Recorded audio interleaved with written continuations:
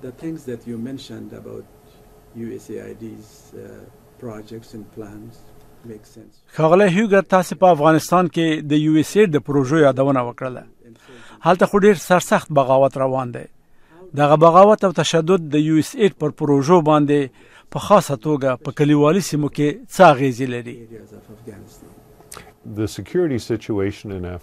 په افغانستان کې امنیتي حالت زما په څیر امریکایانو په قابلیت باندې په کافي اندازه ناوړه اغیزه لري مثلا که د افغانستان کلو ته ولاړ شئ او یا جلال آباد او قندار ته ولاړ شئ خو دا روان حالت یو شمیر افغانان له دې نه نشي څارولی چې کلیوالو سیمو ته لاړ شي له همدې امله موږ د یو شمیر افغاني کمپنیو او افرادو سره چې دا کارونه کولی شي په ګډه کار کوو د مثال په توګه موږ د افغانستان سره په تیرو شپاړسو کلونو کې د ښوونې او روزنې روغتیا او ټولنیزو څانګو کې کار کړی دی تعلیم ته د خلکو د لاسرسي شرایط پراخه شوي دي همدارنګه روغتیايي خدمات ډیر شوي او پراخ شوي دي په دا اوس وخت کې د ښوونې او روزنې وزارت نه میلیونو افغان ماشومانو ته د 2001 کال راهیسې تعلیمي اسانتیاوې برابروي په افغانستان کې د مخدره موادو د قاچاق او غیر قانوني تجارت په اړه ډیر راپورټونه راځي او وایي چې د روان بغاوت لپاره مالی مرسته برابروي او پر ځای مارکیټونو ناوړه اغیز لري یو اس ایډ د دغه ستونزې سره څه ډول برخورد کوي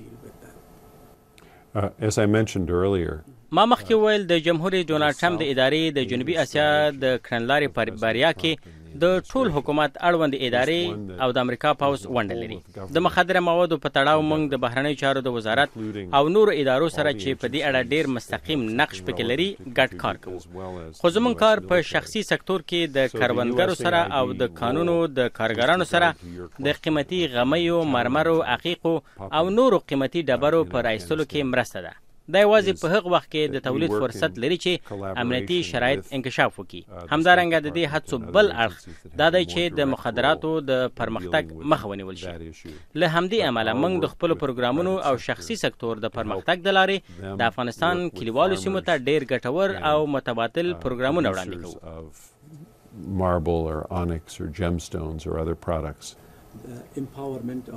ښاغلی هیوګر ماته معلومه ده چې یو اس اېډ د ښځو د پیاوړي کولو لپاره د کرنې په برخه کې خاص پروګرامونه لري تاسو خپل پروګرام د ښځو په اړه زموږ لیدونکو ته توضیح کولای شئ؟ دا د یادولو وړ ده چې یو اس اېډ په دې اړه په نړیواله کچه ستر پروګرامونه لري.